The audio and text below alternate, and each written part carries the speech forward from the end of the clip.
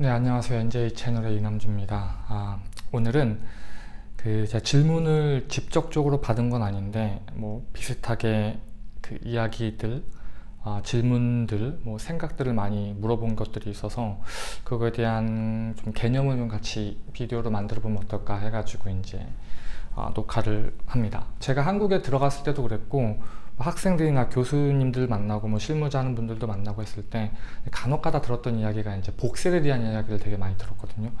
예를 들면 뭐 영국의 그 어느 모 학교 출신들이 이제 많이 하는 그 스타일의 어떤 건축, 뭐 디지털 아키텍트라고 하는데 아 그냥 여러 가지 방식들이 있는데 그 중에 이제 복셀로 이제 그 이야기들을 많이 풀어가지고 하는 케이스들도 있고 그리고 학생분들 이제 뭐 연구 논문을 쓰거나 할 때도 voxel에 대한 부분들을 이제 많이 여쭤보시더라고요. 이제 voxel 자체가 사실은 이렇게 뭐 새롭다기보다도 아 이제 건축이나 computation 디자인 하시는 분들한테는 약간 좀 새로운 개념으로 받아들일 수 있을 것 같아요. 물론 이제 그 industry마다 그리고 이제 voxel을 이용하고 뭐 게임 쪽도 마찬가지고 뭐 다른 그 뭐 데이터 프로세스 하는 쪽도 마찬가지고 아니면 무슨 이렇게 컴퓨터 비전 하는 쪽도 마찬가지고 나름의 어떤 understanding이 있을 것 같아요 voxel에 대한 개념이. 그래서 저는 어 우선은 그 voxel하면 어떤 특별한 뭔가 있을 것 같다라는 고 생각을 할 수도 있는데 그 부분에 대해서 좀 약간 오늘은 clear하게 voxel이 과연 이 디자인 건축 쪽 어, computational 디자인 쪽에서 과연 voxel을 어떻게 이해하면 좋을까 voxel을 갖고 제대로 이해해야 내가 이걸 갖고 뭘 할 수 있을 거 아니에요. 그쵸?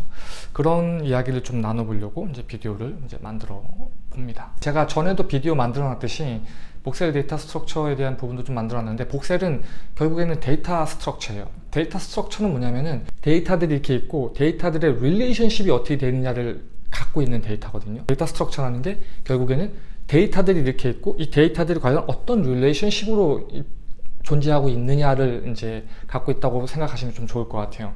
그래서 흔히들 생각했을 때 뭐 이렇게 보면 되겠죠. 사람일 경우에는 아 뭐 이름이라는 데이터가 있을 수 있고 키, 또 뭐 주소 이런 데이터들이 있을 거 아니에요. 그럼 이런 데이터들이 각각 하나하나 존재하는데 얘네들을 이제 하나의 쭉 리스트로 만든 거죠. 리스트 그래서 인덱스 0부터 시작을 해가지고 인덱스 1, 2, 3, 4 해가지고 인덱스 0는 어, 뭐 이름, 인덱스 1은 뭐 키, 인덱스 2는 뭐 주소 이런 식으로 내가 데이터를 리스트로 만들어서 저장시켜 놨다 이렇게 이제 이야기를 하거든요. array로 만들었다. 근데 이런 것들이 이제 일반적인 데이터 리스트 array라고 이제 우리는 다 이해하고 있죠. 뭐 어렵진 않죠 여기까지는. 데이터를 쭉 한 열로 만든 거니까. 근데 이제 그 컴퓨터 그래픽스 쪽을 하시거나 디자인 쪽을 하시다 보면은 이제 우리가 익숙한 데이터들이 뭐냐면은 이제 2D 데이터거든요. 이제 가령 포토샵도 보면은 이렇게 0,0이 있고 그 다음에 내가 캔버스를 뭐 500, 500으로 하게 되면 0,0에서 시작해서 500 by 500의 매트릭스가 만들어지는 거잖아요. 그죠? 2차원 매트릭스. 그래서 각각의 픽셀들은 뭘 저, 저장하고 있냐면은 어, RGBA를 저장하고 있겠죠. 알파 마지막은. 그래서 255, 255, 255, 뭐 물론 이제 255라는 거는 이제 어떤 세계에 따라 다르겠지만 normalize 된 value로 들어갈 수도 있겠죠. 뭐 0부터 1까지. 어쨌든 RGB 255, 255, 255. 그다음에 알파는 0에서 1 이렇게 해 가지고 각각의 픽셀들이 그 데이터들을 갖고 있는 거예요. 이해, 이해되시죠? 근데 우리가 줌 아웃을 해서 딱 보면 사람 지금 이 여러분 이 비디오도 결국에는 이게 픽셀로 다 나눠져 있잖아요. 이걸 확대하고 확대하고 확대하고 들어가면은 거기 안에는 이제 하나하나 픽셀로 나눠져 있잖아요. 예. 우리 스마트폰도 마찬가지고 컴퓨터 스크린도 마찬가지고 결국에는 2차원 2차원 배열인 거예요. 우린 아까 학, 사람 이름, 어드레스, 그 다음에 아, 사람 이름, 주소, 뭐 키 이런 걸 했다고 친다면 이게 2차원 배열로 된 거죠. 2차원 배열로 되면 좋은 게 뭐냐면 2차원 평면의 어떤 공간 정보를 다뤄낼 수 있다는 거거든요. 2차원 공간 정보를 저장할 수 있다는 거예요. 그래서 아, 여러분들 뭐 딥러닝 같은 거 하시다 보면 convolution network 같은 것들도 보면은 그 local feature라고 있어요. local feature. 그러니까 결국에는 뭐냐면 우리가 2D 이미지인데 이 2D 이미지 안에서 그 주변 부분들의 relationship들을 보는 거예요. 주변 부분들의 relationship들. 이해되시나요? 그러니까 가령 이제 예를 들면 이제 픽셀을 확대했다고 치자고요. 그러면 눈 픽셀이 있을 거 아니에요. 그럼 이 눈 픽셀 옆에는 하얀색, 그러니까 검정색 픽셀 옆에는 하얀색 픽셀이 있겠죠. 하얀색 픽셀 옆에는 여기 어떤 살색 픽셀들이 있겠죠. 이렇게 서로 데이터들이 인접한 그들의 neighbor들의 data structure들에 대한 연결성들을 갖고 있을 수 있다는 거예요. 이해되시죠? 그래서 지금 제가 2D를 계속 설명하는데 왜 제가 2D를 계속 설명하냐면은 이거를 3차원으로 연결하자면 그럼 그거를 voxel로 봐요. 예. 그래서 아, 픽셀들이 3차원 배열로 돼 있다는 거를 복셀로 이해하시면 되고 그러면은 자 그럼 복셀을 내가 왜 써야 되냐는 이제 질문을 할 수 있겠죠. 그러면은 전 이렇게 설명해 줘요. 내가 3차원 공간 정보를 다루고 단순하게 이제 어떤 데이터든 이래 저래 이런 것뿐 이런 것뿐만 아니라 이 데이터들을 가지고서 내가 뭐 제3의 데이터를 만들고 데이터를 프로세스하고 이 공간 정보들을 끊임없이 어떤 지속적으로 내가 예를 들면 어뭐 뭐 10by 10by 10의 voxel space에서 10 by 10이면 픽셀이 10개, 10개, 10개가 되는 거죠. XY 10개, Z축으로 10개. 10개, 10개, 10개 픽셀 안에서 내가 어, 어떤 뭐 팩맨 같은 게임을 하다고 치자고요. 팩맨. 그러면은 이쪽 도달해야 되고 저쪽 도달해야 돼. 그럼 도달하는 도중에 막 그 3차원 팩맨이니까 가다가 벽 같은 거 있으면 못 올라가겠죠? 못 건너가고. 그 적들은 또 날 따라오고. 내가 이걸 딱 하나 먹었을 때 또 다음 그 팩맨의 그 이제 뭐라 얘기하지? 그 보물 같은 걸 찾잖아요. 다 찾아가지고서 이제 끝내는 거잖아요. 아니면 내가 거기서 어떤 슈퍼 아이템을 먹으면은 그때부터 적들이 날 쫓아오려고 하다가 그 뒤부터 내가 먹은 이후부터는 이 적들이 도망가죠. 왜냐면 내가 얘를 잡아먹을 수 있으니까. 팩맨 다 아시죠?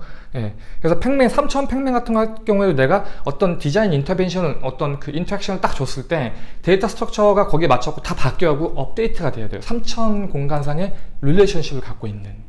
이해되시죠? 여러분 팩맨은 제가 예로 든 건데 agent based design system이라고 많이 들어보셨을 거예요 그래서 디자인을 할 때 에이전트들을 이용을 해가지고 그 에이전트들이 또 다른 제3의 데이터들을 계속 만들어내거든요 그때 가장 중요한 게 데이터 그러니까 기존 인풋 데이터가 있어야 되잖아요 그런 경우에도 그 저 같은 경우는 voxel space를 만들어 놓고 거기 안에다 에이전트들을 뿌리는 거죠 가령 이런 거죠 화재가 났어요. 불이 화재가 났어 건물에. 그래서 각각의 그 방에서 얼마큼 이 건물이 빠져나가는데 단시간이 걸릴까? 이럴 경우에는 생각해 보세요. 시간이 흐를수록 불도 커지죠. 그리고 에이전트들은 각각 도망갈 거죠. 근데 에이전트들도 가장 쇼티스트 팟을 찾고 만약에 불이 나거나 연기가 있는 곳들은 피하려고 들겠죠. 그럼에도 불구하고 불이 나거나 연기가 좀 나도 한 1초, 2초 만에 통과할 수 있으면 거길 가는 게 더 좋을 수도 있겠죠. 뭐 다른 공간, 그러니까 detour에서 돌아서 다른 공간으로 access를 하거나 여러 가지 방식들을 할 수 있는데 이럴 때도 voxel로 데이터를 공간 데이터를 캡처해 놓고 이 각각의 에이전트들이 그 공간 데이터들을 이용하면서 어떤 그 행위들을 해 나가면서 제3의 데이터들을 만들어 나가는 것이죠. 앞서 비디오에서 좀 더 자세히 설명해 놓은 것 같은데 건물 에너지 analysis 할 때 가령 뭐 DIVA라든지 아니면 Ladybugs 아니면 Honeybee 이런 거 가지고 빌딩 에너미, 에너지를 시뮬레이션 한다고 치자고요. 가령 창문이 열려 있어서 빛이 얼마큼 들어와. 빛이 얼마큼 들어온 상태에서 내가 어떻게 디자인을 바꿨을 때 빛이 얼마큼 더 들어오거나 얼마큼 더 빛을 막아낼 수 있다라는 굉장히 단순한 어떤 그 타겟 디자인 타겟이 있다고 치자고요. design problem이 있다고 친다면 그런 lighting 시뮬레이션 툴을 가지고서 내가 빛이 얼마큼 들어오는지를 확인을 하려고 해요. 그러면 이제 일반적으로 이런 식으로 많이 시뮬레이션을 하거든요. 방이 있으면은 방에 창문이 있고 그 방에 어떻게 보면 2D 픽셀들을 쭉 까는 거죠. 2D 어떤 data structure를 쭉 서, 설치를 하는 거죠. 그래서 빛이 딱 들어오게 되면은 예를 들면 내가 이것도 10 by 10으로 했다. 그러면 빛이 들어오면은 빛의 그 sun vector가 있을 거 아니에요. sun vector가 그 각각의 픽셀들, 각각의 패널들을 딱 hit하면은 얘는 이제 빛이 들어온 거죠. 나머지 애들은 안 들어온 거고. 이해되시나요? 그렇게 하면 내가 10개, 10개 하면은 100개가 나올 거 아니에요? 그러면은 100개 중에서 뭐 15개의 그 패널들만, 픽셀들만 그 태양 벡터가 directly 딱 터치를 할 수 있다고 친다면 15%의 채광률이 될 수 있겠죠. 만약에 100개의 픽셀 중에서 50개가 만약에 히트가 됐다고 친다면 아, 50%의 채광률을 볼 수가 있는 거죠. 그래서 얘네들이 사실은 그 high resolution이 높으면 높을수록 좀 더 정확하게 잴 수가 있겠죠. 그 대신에 computation power는 많이 필요하겠죠.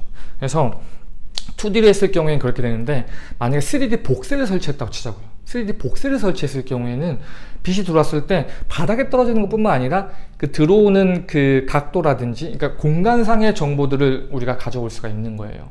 근데 모르겠어요. 빌딩 에너지 시뮬레이션을 할 때 공간에 들어오는 것보다 이제 바닥에 어떻게 들어오는지가 아마 이런 어떤 법률 같은 것도 있을 거예요. 그런 어떤 그 약속들이 있을 거예요. 약속들에 맞춰가지고 이제 거기 맞춰서 시뮬레이션 하면 되는데 voxel 같은 경우는 확장시켰으면 그렇게 할 수 있다는 거고 그리고 이제 그 픽셀과 voxel의 또 특징 중에 하나는 뭐냐면은 여러분 데이터들이 크게 이제 두 가지의 데이터로 볼 수 있어요. 그러니까 discrete한 데이터가 있고요. discrete하지 않은 데이터가 있거든요. 그러니까 discrete한 데이터는 뭐냐면 말 그대로 이렇게 아, 0, 1, 2, 3, 4 이렇게 딱딱 떨어지는 거예요. discrete한 데이터예요. 예. 그리고 continuous한 데이터가 있어요. discrete하지 않는 거죠. 그건 말 그대로 여러분들 이렇게 생각하시면 좋아요.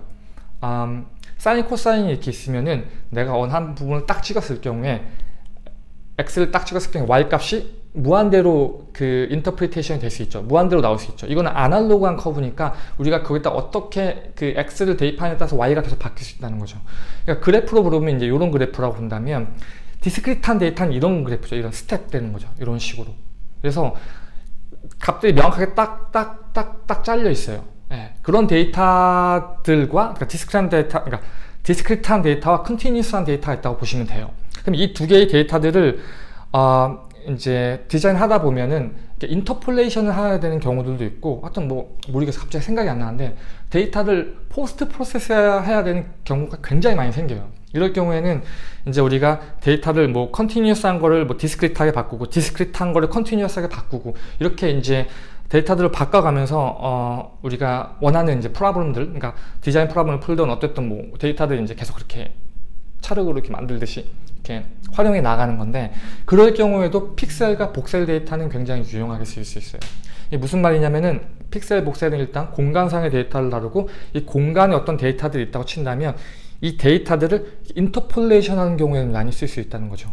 가령 그래프 같은 경우는 음, A, B, C라는 어떤 노드들이 있고 이것들 연결한다고 쳤을 경우에 얘랑 얘랑은 이렇게 보면 돼요. 다른 도시야. 서울, 뭐 대구, 부산이 있으면은 각각은 정확, 정확하게 다른 다른 도시란 말이에요. 이 중간 도시는 없잖아요. 중간에 비슷한 도시들은. 그래서 그래프 같은 경우에는 이런 discrete한 데이터를 많이 다룰 때 쓰는 거고 이렇게 array라든지 아니면 2D, 3D, 픽셀, voxel 이런 것들은 discrete한 데이터들을 어떤 그 continuous한 데이터들로 이렇게 바꿀 때도 쓸 수 있다라고 보시면 될 것 같아요. 그래서 픽셀, voxel, 그러니까 voxel 데이터, 그러니까 픽셀의 3차원 연장선에 있는 거죠. 요약을 하게 되면 공간 정보를 다루는데 굉장히 유용을 하고 데이터를 post process 할 때 공간상의 discrete한 데이터들을 프로세스 할때 아, 유용하게 쓸 수 있다. 그 밖에도 뭐 어떻게 내가 이거 말 그대로 data structure예요. data structure 갖고 내가 어떤 알고리즘을 주고 하는 건 자기 마음대로 무, 무한대로 할 수 있는 거죠. 내가 아이디어만 있다면. 그렇기 때문에 이 3차원 공간상의 relationship들을 갖고 있는 data structure가 있다고 친다면 네가 이걸 가지고서 뭘 할 수 있냐? 그거를 고민하는 게 좀 더 voxel을 가지고서 디자인을 가, 갖고 쓰던 아니면 물론 달라요. 뭐 게임 쪽에서 바라보는 voxel과 무슨 다른 computer vision 쪽에서 바라보는 voxel 다 다를 수 있는데 디자인 쪽에서는 이 3차원 공간의 데이터를 어떻게 캡처하고 어떻게 프로세스하고 이 relationship이 존재하거든. 예를 들면 내가 하나의 voxel이야. 그러면 좌우 앞에 위에 옆에 뒤에 이 모든 한 12개의 relationship이 있을 거예요. 대각선까지 포함을 한다면. 그런 relationship들을 갖고 있는 data structure가 있어. 그럼 내가 이거 갖고 뭘 할 수 있지? 그 여러분들이 어떻게 데이터 알고리즘을 짜고 프로세스 하느냐에 따라서 무한대로 여러분들이 상상할 수 있는 거죠. 뭐 되게 뭐 레고 같은 건물을 만들 수도 있고요. 뭐 가장 흔한 뭐 예죠 voxel 뭐 마인크래프트 같은 것도 많이 보시죠. 사실 마인크래프트가 나오면서 voxel에 대한 이야기가 굉장히 많이 나왔던 것 같아요. 아니면 무슨 굉장히 작은 모듈들이 이렇게 뭉쳐가지고 뭔가를 한다던가 뭐 그런 것도 voxel로 볼 수 있고 아니면 어떤 뭐 공간상의 어떤 내가 이루어지는 어떤 geometry라든지 데이터 프로세스 행위들을 다 voxel 안에 담을 수가 있어요. 제 개인적인 견해로는 제가 아무래도 이제 GIS 쪽 데이터 쪽 있고 도시 쪽 다룰 때는 그 그래프 data structure를 가장 많이 쓰는 것 같아요. 그리고 어떤 건축 스케일로 내려오게 됐을 경우에는 이제 voxel을 많이 쓰죠. 왜냐하면 공간 자체가 아예 그냥 통으로 캡처할 수 있기 때문에. 그래서 그 정도로 보시면 좋을 것 같고 이제 뭐 모르겠어요. 이 비디오가 얼마나 도움이 될지 모르겠지만 요약해서 포인트를 정리해 주면은 과연 이 voxel이 뭐냐? 여기저기서 사람들이 voxel voxel 이야기하는데 이 voxel data structure가 뭐냐? 이 voxel data structure가 뭔지를 알아야지 내가 이 voxel 어떻게 활용할 수 있을지 알거든요. 그래서 voxel structure가 뭔지를 한번 이야기를 좀 해봤고 이 voxel 데이터 structure 가지고서 아, 공간상의 어떤 정보를 담는구나 3차원에. 그럼 이 3차원의 공간상의 정보들을 내가 아 이렇게 이렇게 준비하면 voxel을 활용할 수 있겠구나. 아니면은 이 공간상의 정보들을 아 이렇게 들어오니까 이런 relationship들을 갖고 이렇게 이렇게 계산하면 좀 더 의미 있는 어떤 프로세스가 되지 않을까? 이런 부분들을 이제 고민할 수 있다는 거죠. 왜? voxel이 뭔지 알았으니까. 그래서 어, 그 정도로 보시면 될 것 같고 어, 사실 건축 디자인 하시는 분들은 어, 특히 computational 디자인 뭐 Dynamo라든지 뭐 Grasshopper 가지고 뭐 디자인 하시는 뭐 이런 분들까지 포함해서 이게 데이터 structure를 짜는 게 굉장히 좀 이렇게 아, 해본 적이 없으셨을 거예요. 그래서 데이터 structure를 한번 고민을 한번 해보세요. 이번 기회에 해보시고 결국에는 그 Grasshopper도 그렇고 Dynamo도 그렇고 어떤 데이터를 프로세스해서 아웃풋을 내주거든요. 결국 결국 인풋과 아웃풋이거든요. 그럼 이 인풋과 아웃풋을 내가 얼마큼 잘 다뤄낼 수 있느냐에 따라서 어, 내가 원하는 어떤 알고리즘을 쉽게 짤 수 있는 거예요. 쉽게 얘기하면 Grasshopper 같은 경우는 결국 그냥 리스트로 혹은 tree로 나오잖아요. tree라고 해봤자 결국 그냥 tree array거든요. list of list니까. 그럼 결국에는 단순하게 list of list에서 그냥 x, y의 인덱스에서 들어가는 게 아니라 정말 어떤 의미 있는 그 relationship들을 찾아내는 거예요. 가령 이런 거예요. 뭐 잘 모르겠어요. 이게 무슨 러인데? 그러니까 나랑 한국의 대통령이 전혀 모르는 사람이지만 몇 다리 건너면은 그 사람이 relationship이 생긴다. 뭐 다섯 개, 여섯 계단 건너면은 전 세계 모르는 사람이 없다는 거 하잖아요. 그럼 이런 것들을 어떻게 찾아내? 이것도 어떻게 보면은 이건 그래프 데이터 structure인데 어쨌든 딱딱 의미 있는 링크들을 찾아 들어가는 거죠. 그래서 voxel도 3차원이라고 다 relationship을 만들다기보다도 의미 있는 relationship들을 찾아가지고 거기에 맞는 알고리즘을 적용해서 빠르게 프로세스 할 수 있는 뭐 그런 것들 도와주는 거죠. 그래서 voxel에 대해서 좀 두서없이 이것저것 이야기를 했는데 아, 또 댓글을 달아주세요. 그러면은 voxel에 대해서 좀 이렇게 같이 이야기를 해보고 특별히 이제 아까 마지막으로 강조했듯이 그 디자인 하시는 분들 좀 생소할 수 있을 것 같아요. 건축 computation 하시는 분들.